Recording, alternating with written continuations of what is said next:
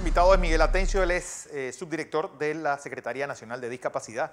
Atención porque eh, se ha creado el Consejo Nacional Consultivo de Discapacidad, que es en víspera de, bueno, de esta conferencia que se está dando en Dubái, con la participación de la ex primera dama Vivian Fernández de Torrijos y también de Erika Nota y el grupo de Una Noche Más. Miguel, buenos días. Pues, Miguel Atencio. A ver, buenos días, Miguel. Sí, buenos días, Fernando, y a toda la amable audiencia. Definitivamente, dar la, darnos las gracias por la oportunidad que nos da de, dirigirnos a todo este público. El día, de, el día de mañana, día 3 de diciembre, se conmemora el Día Internacional de las Personas con Discapacidad y se, se, se celebra la reunión del Consejo Nacional Consultivo de Discapacidad, la décima.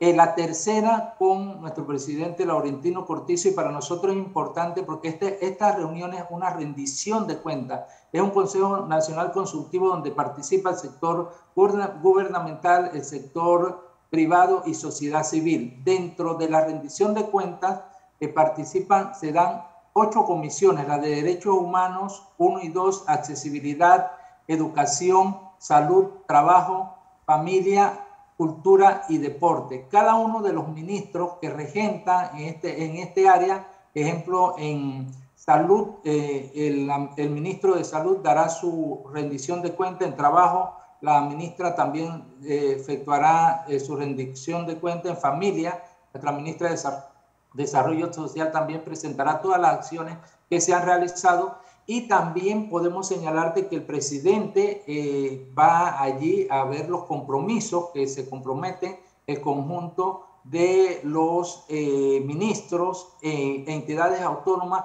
para el próximo año. También te puedo señalar que también hay un vocero de sociedad civil donde va a presentar las aspiraciones que como sociedad civil se tienen hacia mejorar la calidad de vida de las personas con discapacidad. Pero es importante también señalarte a ti y a todos los estimados radioescuchas, como el día de ayer escuchaba el poeta del pueblo, Pedrito Altamiranda. Nosotros como personas con discapacidad y como institución no podemos eh, olvidar el pasado. Las personas con discapacidad y sus familias estaban totalmente invisibilizadas y, eh, y las acciones a través de nuestro gobierno estamos construyendo futuro para la población con discapacidad y te puedo señalar que en el transcurso de este año hemos invertido un total de 1.221.000 balboa y te lo puedo desglosar porque es importante que la gente conozca qué se hace para las personas con discapacidad en su conjunto. Ejemplo, en Fami Empresa, este año Senadis capacitó 438 empresarios a nivel nacional por una suma de 300, 366 mil balboas. Eh, en FODIS, que son las ayudas para las personas con discapacidad como órtices, prótesis, sillas de ruedas personalizadas eh, y otras, se, se, se, apoyaron a 200 personas con 700 mil balboas. Tú te preguntarás, ¿por qué 200 personas con 700 mil balboas. Un audífono para una persona con pérdida auditiva tiene un costo de 5 mil, de 3 mil a 5 mil balboas. Una silla de rueda personalizada para una persona está desde 5 mil a 20 mil balboas. Eh, un, implante coclear está aproximadamente de 20 mil a 30 mil dólares y así te podría señalar las ayudas, los costos son eh, bien onerosos tablets para los chicos que están en premedia y media, 175 tablets por una suma de 42 mil balboas, eh, computadoras eh, para 180 chicos de las universidades por una suma de 200 mil balboas. Eh, apoyo para las, ah, bueno, grabadoras para los chicos de, de, de, que están en primaria, 50 grabadoras por 4 mil balboas y, y apoyo a los programas de las ONG, de las organizaciones no gubernamentales que trabajan con las personas con discapacidad y sus familias por una suma de 251 mil balboas.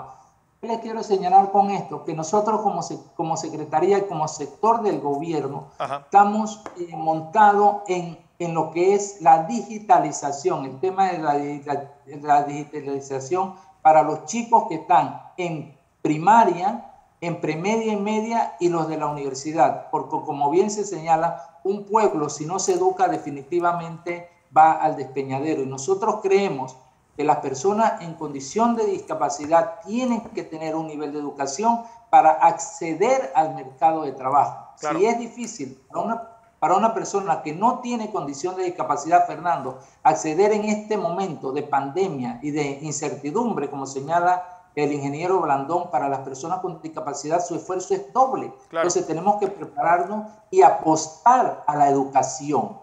Bueno, vamos a mañana entonces, en esta víspera, una buena noticia desde la Secretaría Nacional de Discapacidad y sobre todo esa reunión de este Consejo Consultivo. Agradezco a Miguel Atencio, subdirector del Senadis, por esta participación.